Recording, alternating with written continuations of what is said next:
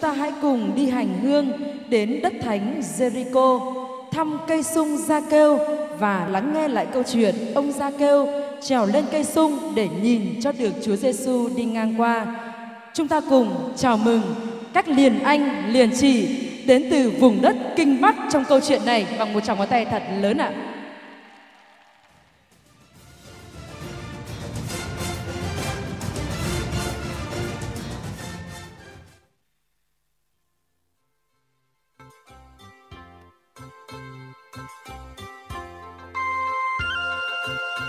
đời ai trong kiếp khổ nghèo, tháng ngày chỉ biết kêu gào khóc than. Ốm đau nào có thuốc thang, sưu cao thuế nặng, nỗi oan thấu trời. Con thương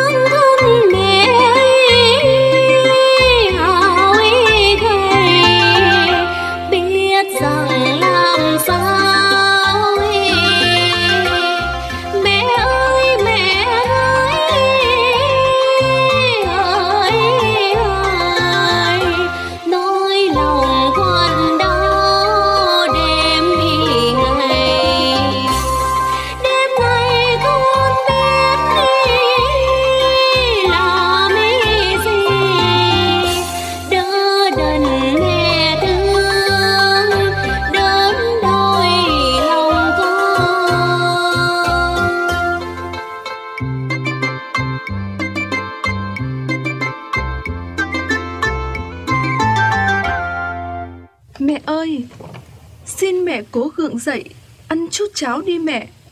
Cháo con mới hầm cho mẹ nè. Mẹ không muốn ăn gì cả. Mẹ cố ăn một chút đi mẹ. Đã ba hôm liền không ăn không uống. Mẹ như ngọn đèn bức lụi dầu hao. Cố lên mẹ ơi Nếu không ăn Chẳng may mẹ có bề gì Thì làm sao con sống nổi mẹ ơi Thôi được rồi, mẹ sẽ cố, mẹ sẽ cố. Có ai trong nhà không? Mụ hai, mụ hai đâu? Ai vậy hả con? Để con ra mở cửa cho mẹ. Mụ hai đâu? À đây rồi. Mụ hai. Sao còn không chịu nộp thuế cho hoàng đế? Thưa ông, Tôi đau bệnh nằm liệt giường cả tháng, co làm ăn buôn bán gì đâu. Bao nhiêu tiền dành dụ bấy lâu, vẫn không đủ để lo thuốc men rau cháo. Thưa ông, có còn gì đâu mà đóng thuế nộp siêu. không tiền, không tiền mà ăn cháo trộn thịt. Thưa ông, xin ông hiểu cho, vì thấy nhà cháu quá cơ cực, nên dì Tư hàng xóm thương hại cho ít gạo nấu cháo. Thú thật, nhà cháu không còn gì ngoài... Thôi, thôi, mẹ con nhà này miệng lưỡi ghê quá. Nghèo, không tiền, không gạo. Ai mà tin cho được cái giọng mẹ mình của các ngươi? Thưa ông, con van xin ông mà. Không thưa thốt gì hết. Đừng có mà lý do lý chấu, dườm già nộp hay không nộp thì báo. Con xin ông hãy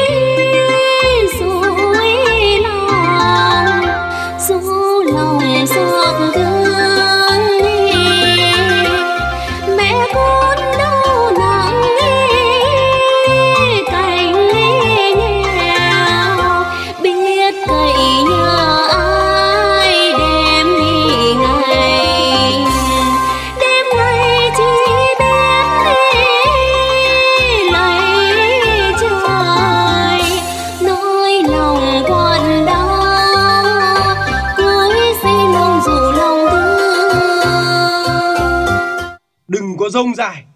Không nộp. Mẹ con mày cố tình không nộp hả? À chà chà. Đẹp. Cũng đẹp đó chứ. Nè mau cởi ra. Không không được đâu ông ơi. Không cởi à? Cởi cởi mau. Cởi sợi dây chuyền ra. Không con van xin ông mà. Con van xin ông mà. Hừm, Nghèo, nghèo mà đeo sợi dây chuyền mới cóng, mau cởi ra. Thưa ông, sợi dây chuyền đó là kỷ vật cuối cùng của bà ngoại cháu trao lại trước khi nhắm mắt lìa đời về với tổ tiên. Đó là vật gia bảo hết sức thiêng liêng. Xin ông đừng... Đủ gia bảo hả? Gia bảo hả? Gia bảo thì đã sao? Còn tụi bay, tịch thu hết, tịch thu hết gia sản cho ta. Từ nồi niêu, bàn ghế, chén bát, lấy sạch, lấy sạch hết để bù vào số tiền thuế cho ta. Trời ơi, sao mà khốn khổ thế này hả trời? Mẹ ơi, ôi mẹ ơi, mẹ! Đúng là bể khổ trần gian, trời xanh có thấu nỗi oan nhường này. Chúa Giêsu hỡi thưa Ngài, ở đâu hãy đến cứu người trầm luân. Suốt mấy năm liền làm quan thuế vụ, vơ vét đã đầy, năm bảy cái túi tham. Bây giờ dù có từ quan, thì ta đây vẫn thừa tiền mua trâu, tậu ruộng. Hừm, vậy mà mấy thằng tư tế và mấy tay biệt phái dám coi thường mình lên cái mặt vênh vang. Còn như cái đám dân đen, chúng lại dám gộp mình ngang hàng với phường trộm cướp. Chúng lại còn nghi mình bấy nay câu kết với đế quốc Roma phản nước hại dân. Thôi, mặc kệ, thằng Gia Kêu này bất cần dư luận. Miễn sao tiền đầy túi là hơn. Có tiền mua cả Giang Sơn, không tiền, củ sắn hạt cơm cũng thèm. Ha ha ha ha ha.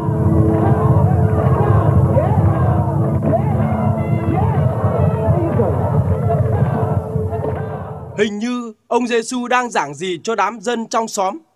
Ông thầy này xem ra mới kỳ lạ làm sao. Toàn chuyện ngược đời mà ông ta cứ giảng thao thao. Còn đám dân đen lại cứ vảnh tai lắng nghe mới lạ chứ. Có một phú hộ kia nhà lắm tiền nhiều của, suốt tháng ngày chỉ lo sắm két xây kho, sống cuộc đời hưởng lạc xa hoa, nhưng Thiên Chúa lại bảo ông ta, đồ ngốc, nếu một ngày kia cuộc đời ngươi chấm hết, tiền của ruộng vườn liệu ngươi có ôm theo?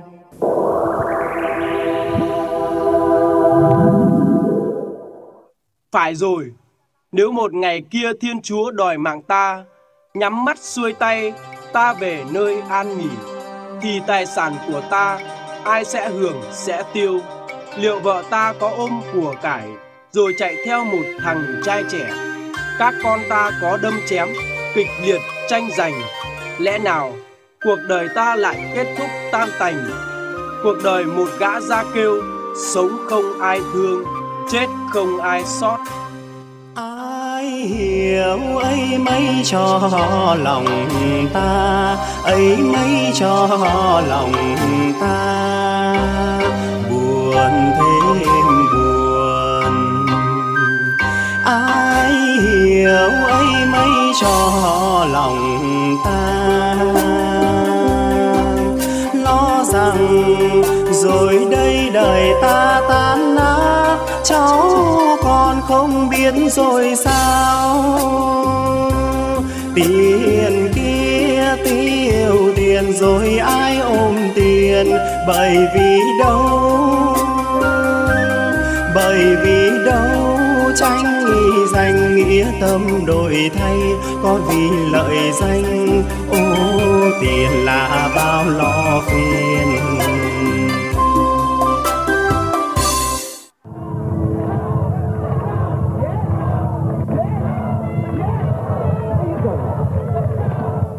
Hội đông người quá. Giờ phải tính cách, miễn làm sao nhìn được trách mẹ cha sinh ta với một kích cỡ ngắn ngủn thế này. À phải rồi, bây giờ mình sẽ tót lên cây. Lát nữa, ông ta ắt sẽ phải qua đây. Mình thỏa thích chiêm ngưỡng dung nhan người nổi tiếng. Ha ha ha ha!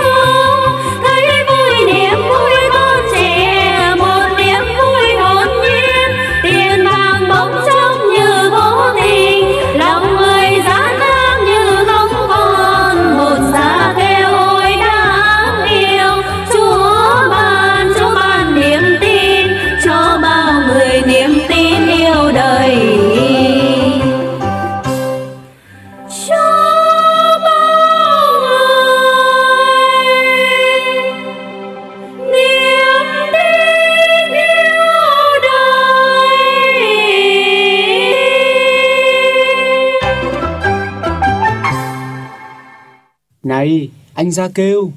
Hả? Sao ngài lại biết tên tôi? Nào, xuống đây. Lại đây. Tôi sắp ghé thăm nhà anh. Thầy, thầy ghé nhà tôi. Thật sao? Thầy ghé nhà tôi. Thầy không sợ người ta dị nghị đàm tiếu sao?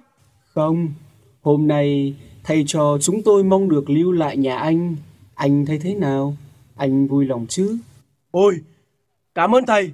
Thế thì phúc cho gia đình tôi quá. Lạy thầy, xin mời thầy, vinh dự quá. Xin mời anh em, tôi về trước đây, tôi xin phép về trước nha thầy.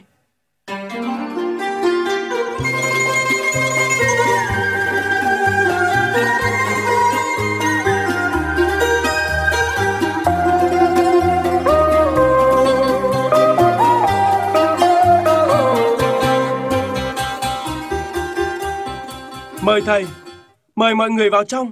Ôi lạy thầy, thật, tôi không thể ngờ là thầy và các bạn lại quá bộ đến nhà một người tội lỗi như tôi. Vinh dự cho gia đình tôi quá chừng. Xin mời thầy, nào mời các bạn. Xin mời thầy và mời các bạn dùng chút bánh, uống chút nước, xin cứ tự nhiên cho.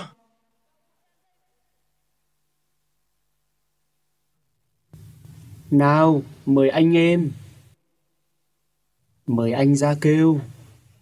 Ấy, thầy đừng đụng chạm vào người tôi, coi chừng mắc uế đó thầy. Ngồi xuống đi ra kêu. Ăn một miếng đã nào. Hãy nâng ly để mừng ngày hội ngộ. Ai biết lỗi của mình, người ấy sẽ phục thiện. Ai nên khôn mà chẳng dại đôi lần, đã là người, ai cũng có ít nhất đôi lần vấp ngã. Điều quan trọng là biết trỗi dậy, đứng lên. Kể từ nay, anh hãy từ bỏ đường ta để quay về nẻo chính. Sống một cuộc đời lương thiện giữa trần gian. Ta đến thăm anh chỉ có một món quà là ban phát yêu thương và lòng vị tha của Thiên Chúa nhân từ trao tặng. Nhưng, nhưng, nhưng thưa thầy, một kẻ ngập đầy tội lỗi như con thì làm sao có thể tha thứ được, thưa thầy? Anh hãy vững tin vào tình yêu của Thiên Chúa. Thiên Chúa nhân từ, độ lượng, bao dung. Lòng vị tha của người bao giờ cũng lớn hơn tội lỗi của anh. Chỉ cần anh biết rõ mình đã sai lầm và quay đầu phục thiện. Thưa thầy, thưa quý anh em, một người lầm lạc tội lỗi như tôi. Nay nhờ lòng thương xót và vạch đường chỉ lối của thầy Giêsu, tôi xin đem một nửa tài sản của mình cho người nghèo khó. Và lâu nay, bằng quyền lực của mình, tôi đã cưỡng đoạt tiền bạc, cửa nhà của bất cứ ai, tôi xin đền gấp bốn. Tôi cúi xin mọi người rộng lượng, hãy tha thứ cho tôi như tha thứ cho một kẻ tội đồ. Tốt lắm. Thế là hôm nay, ơn cứu độ đã đến với nhà này, bởi Gia Kêu cũng là một đứa con rất đáng yêu của Thiên Chúa. Con thương thân mẹ